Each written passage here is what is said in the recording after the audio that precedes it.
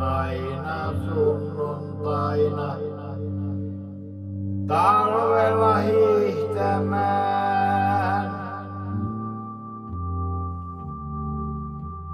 Minä sain Suomi-tipon ja uudet järvisen sälessukset.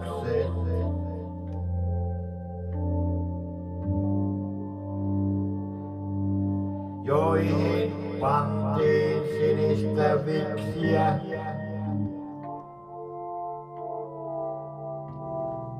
Ja illalla voideltiin kurkku samalla aineella, kun tuli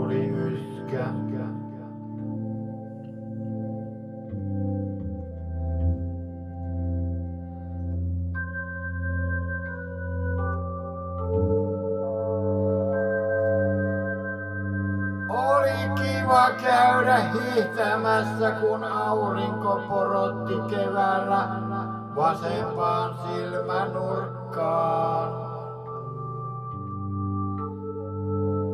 Isä sanoi hiihtele rauhassa, minäpä vetäsen tuosta 15 kilometrin lenkiin.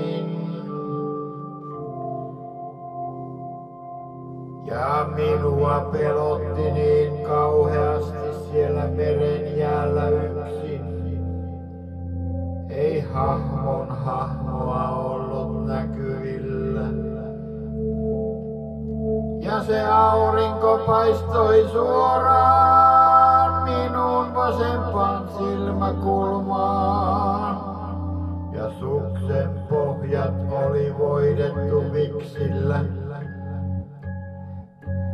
Isä käytti sinistä reksiä, minä viksi vaporuppia, jolla pantiin minun kurkku myös illalla kuntoon.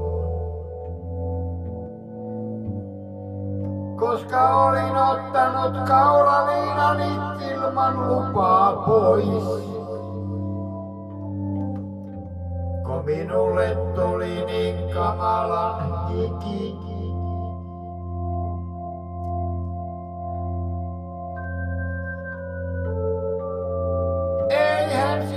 siinä isällä kauan mennyt, kun se veti 15 kilometriä.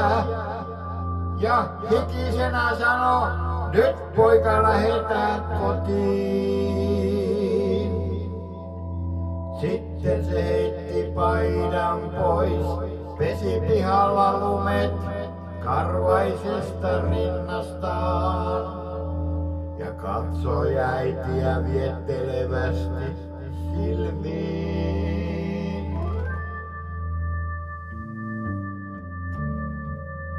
Päättelin siitä, että minulle laitetaan taas viksvakorukkia kurkkuun, etten rupea ryskimään yöllä ja he saavat rauhassa tehdä mulle pikkuveliä.